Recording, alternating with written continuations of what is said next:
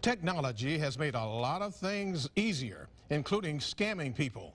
Thieves are using it now to steal from younger targets who may be oblivious. Here's News 5's Ashley Knight with tonight's Scam Busters report. In the early days of scamming, it was usually just the senior citizens who had to worry. They were easy targets. They had more money than young people, and they would go after them saying they won the Jamaican lottery. You know, you need to pay your taxes on this so we can send you your money. But now the buzz is technology has made it all too easy for con artists to turn their eyes to the younger generation. I believe that they're just so broad with being so trusting on the social media. I don't think that a lot of them really understand how big it is and how big of a problem it could be. Take Facebook, probably the tool most used by scammers. It's incredibly easy to duplicate a page, stealing profile pictures that are free to anyone, and making it look like you even have the same friends.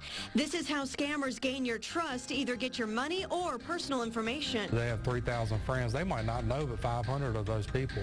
And that's a very dangerous situation I mean, because so many of those people could be hackers or, or uh, possible sex traffickers. I mean, the, the possibilities are endless, really. Email is still a good standby, but instead of a Nigerian prince giving you money, they've gotten more hip to the times, saying your Netflix password has expired. They conveniently give you a link to make the changes, but you could end up downloading malware or other software that tracks your keystrokes. It's pretty much unlimited. I mean, that's why anytime you get an email from a company like that, never click on a link. Something they've seen here recently in town is hacked PayPal PayPal accounts being used to buy things at stores like Dollar General. Just because a service says they're secure doesn't mean you shouldn't take precaution. I mean, your bank account is secure, but at the same time, people can access that stuff. They, there are hackers out there that can do it. They stress the importance of always knowing who you're talking to online and never trusting an email that comes to you, even if it has official-looking logos on it. If they want you to click on a link or give them information, you should stop, think, and then call the real number of the agency to verify.